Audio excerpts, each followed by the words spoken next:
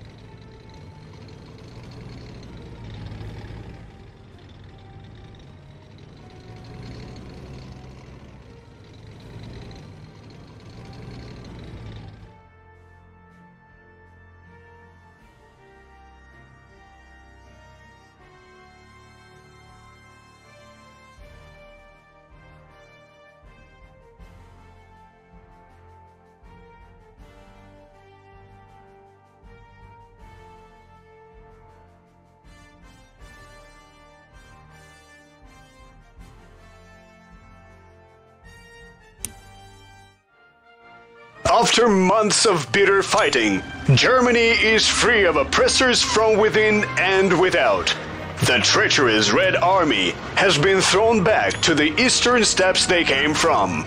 This victory proves there is no place for tyranny in Europe. This wasn't simply a clash of two armies, but a clash of ideals. Under Joseph Stalin's cruel regime, no amount of casualties was unacceptable. His fanatic soldiers fought to the last. But today, the entire free world cheers the triumph of liberty over slavery and oppression. At long last, Germany is free. A year later than it could have been.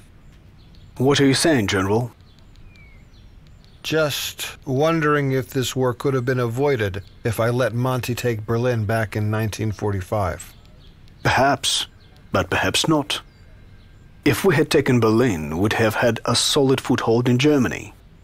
But we would have confronted the Soviets too early, with our resources depleted. True. I was worried about the Soviets' reaction back then. Montgomery has told me more than once that I think too much about politics. A strength, and not a weakness, I would say. I know no other man who could make the British and the Americans work together so well. Thank you, Sir Harold. I suppose I could play the mediator a bit longer. The war on fascism was just Act One. Now we're taking on the communists.